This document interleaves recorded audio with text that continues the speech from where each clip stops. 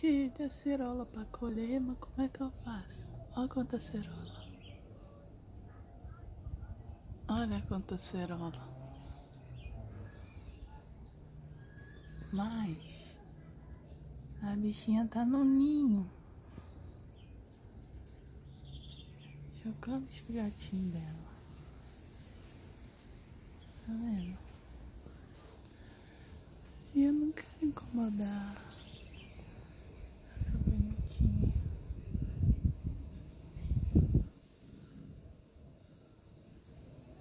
E mais a cerola vai ficar aí.